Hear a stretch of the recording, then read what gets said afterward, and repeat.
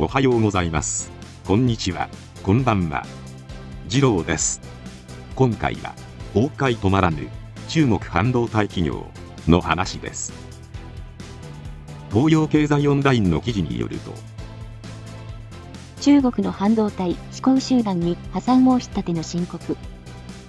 資金ショートの泥沼に陥っている中国の国有半導体大手の思考集団。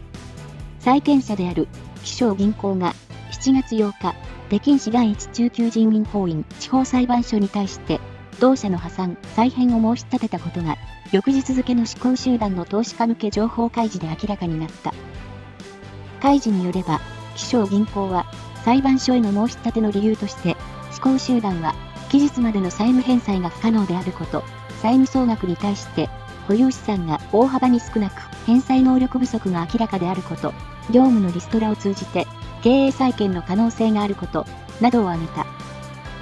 思考集団は、昨週以降、すでに複数回の債務不履行、デフォルトを起こしていた。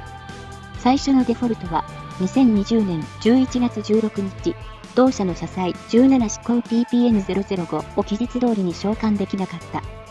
同年12月10日には、別の社債18思考04の金利を支払えないと発表。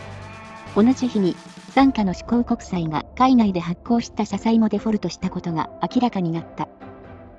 思考集団は、純粋な持ち株会社の形態をとっており、傘下の上場会社には、持ち株比率52.13%で IT サービスなどを手掛ける思考庫ユニスプレンダー、同32.71%で、半導体設計大手の思考国新美電子、ユニグループ合新マイクロエレクトロニクスなどがある。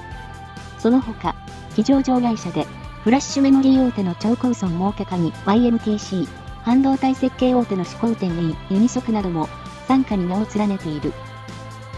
思考集団の債務危機の主な原因は、積極的な M&A、合併買収が裏目に出たことと、その資金調達を債券発行に過度に依存したことだ。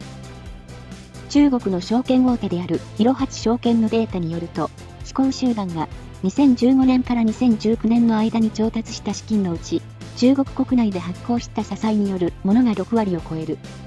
同社は、2019年1から3月期に、中国国内で、社債を2本発行した後、新たな社債の発行が事実上できなくなった。満期を迎える社債が増えるとともに、新規融資の獲得が困難になり、資金繰りに窮したためだ。中国の半導体製造は、西側諸国の精密機器がなければ成り立ちません。しかし、トランプ前米国大統領の規制により生産機器の更新が困難になっています。中国で半導体企業の立ち上げが頓挫するケースが昨年から相次いでいます。米国による制裁強化で中国国内の半導体投資が過熱する中ずさんな計画も多いことが原因です。習近平政権は半導体の内製化の号令をかけていますが技術力や人材に懸念もありほとんど進んでいません。今年に入って4月には中国の半導体メーカーが約2兆円超の負債を抱えたまま創業前に破綻との報道がありました。中国の半導体メーカー武漢広新半導体アッハン本口新セミコンズクトマニャフ HSMC が工場の操業を開始する前に倒産しました。巨額の資金が投じられたにもかかわらず半導体チップを一つも生産することなく HSMC が撤退したのです。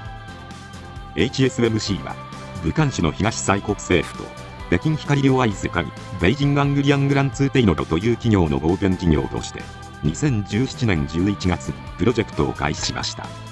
かねてから半導体が重要な戦略物資となりつつあったことから政府肝入りの官民プロジェクトとして華々しいスタートを切った HSMC ですが HSMC は2021年2月に全従業員を解雇し事実上倒産しました。裁判資料によると武漢市政府は推定1280億円約2兆1600億円の負債を回収するため HSMC の土地約300エーカー約1.2平方キロメートルや ASML 製の半導体製造装置を差し押さえたとのこと。実質中共を相手にした詐欺行為です。その中共追い打ちをかける思考集団の破産。以前から話は聞いていましたがいよいよニュースにも取り上げられる事態になったようです。思考集団の債務大きすぎて中共が救済せざるを得ないだろうと経営陣は考えていたようですが銀行が共倒れを恐れて法的処置に入ったのです。中国共産党の中央政府の動きがあるのかと思っていましたが未だ動きはありません。今後中国半導体産業の崩壊が加速しそうです。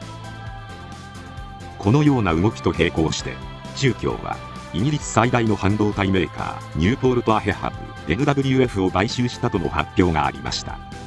怒り心頭に達したイギリス政府が NWF への資金提供の停止を指示しています。国内企業がダメなのを見て欧米の企業を狙う中共。